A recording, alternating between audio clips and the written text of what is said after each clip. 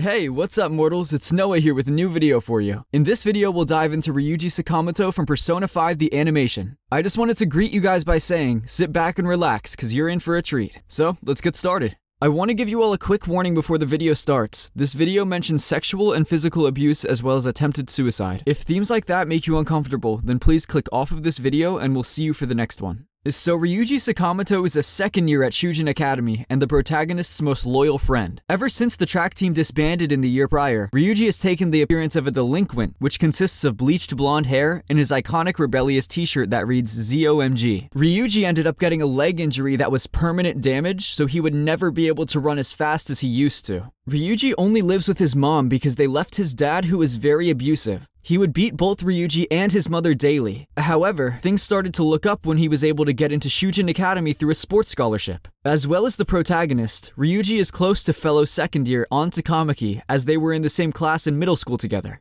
Kamoshida was the track team coach at Shujin who was famous for being an Olympian. During the first palace of the series, we learned that Kamoshida was actually the one who broke Ryuji's leg because Ryuji attacked him. However, this was only because Kamoshida provoked him by talking about his alcoholic father. Ryuji's mother blamed herself for the incident, saying that if Ryuji had a proper father figure, this wouldn't have happened. This made Ryuji become very protective of his mother and even calls himself a bad son. He decided that he never wanted to upset his mother ever again.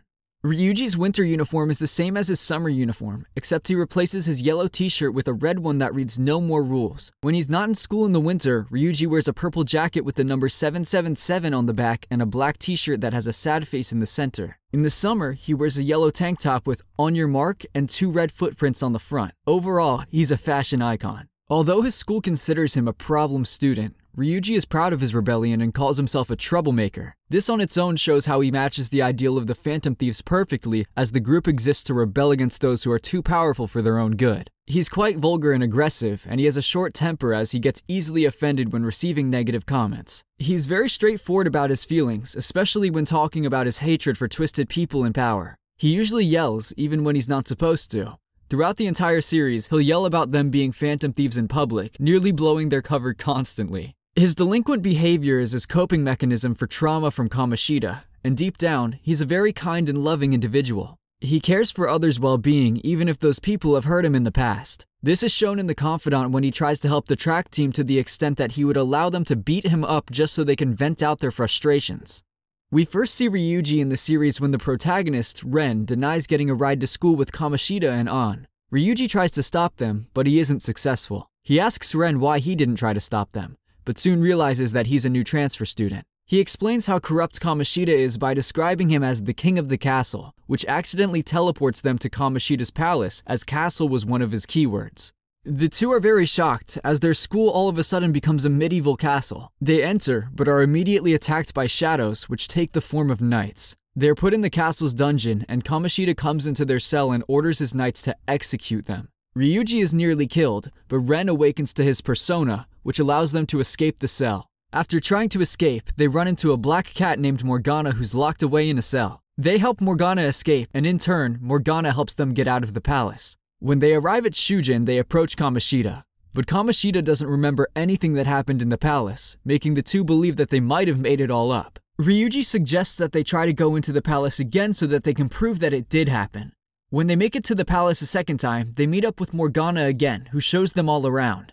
Ryuji is disgusted when he sees the knights abusing the members of the volleyball team that Kamoshida coached. He made sure to memorize all their faces so that he could question them in the real world. Right when the three try to escape, they get ambushed in the main hall and are completely surrounded. Kamoshida's shadow revealed that he only wanted the principal to be invested in the volleyball team, and Ryuji got in the way of that because he was a star athlete for track. That's the real reason that Kamoshida broke Ryuji's leg, to get him and the track team out of the way.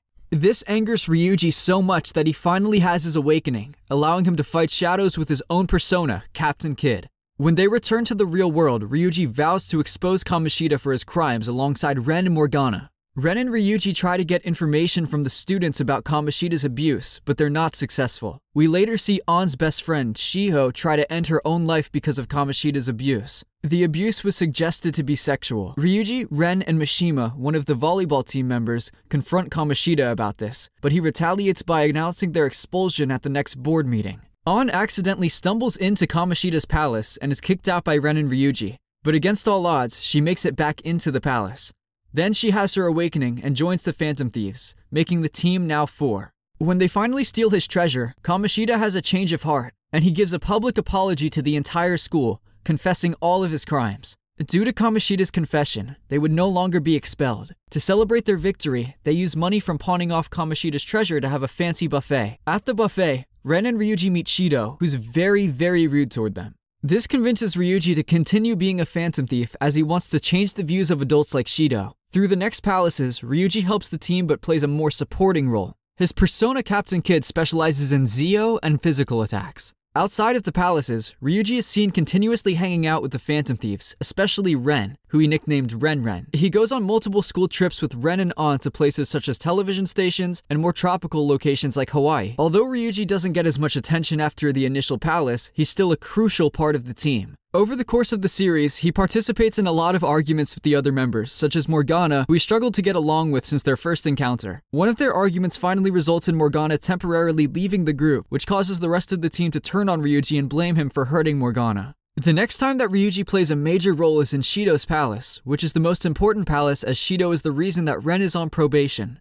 After they had defeated Shido's shadow, Shido took medicine in the real world which he believed would kill the Phantom Thieves. The team couldn't find an exit, making them trapped. However, Ryuji came up with a plan. He risked his lives for his friends by running up a crane and holding onto a lifeboat. This gave them the chance to escape. Everyone was able to get on the lifeboat except for Ryuji, who held onto the crane and gave them a thumbs up. Ann cried out his name and the whole ship exploded making the team believe that Ryuji had died. Back in the real world, they realized that they were successful in stealing the treasure, but morale was low because they had just lost one of their closest friends. It's then revealed that Ryuji actually survived the blast, and he reunites with his friends. He mocks An's crying, which results in him getting beat up by the team because they really thought that he died and he was mocking it. Ryuji was one of the first members of the team, and he played a very crucial role as he was the one who created the iconic calling card. Although he's a little unintelligent and sort of a delinquent, he makes up for it with his great fighting skills, immense kindness, and fierce loyalty to those he loves.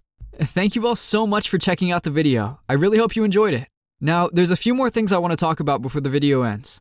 Our two other channels, We the Celestials My Hero Academia What Ifs and Naruto What Ifs, tell the story of their namesake anime but with an awesome twist. So definitely go and check that out if you're interested. Again, thank you so much for watching the video and I'll see you in the next one.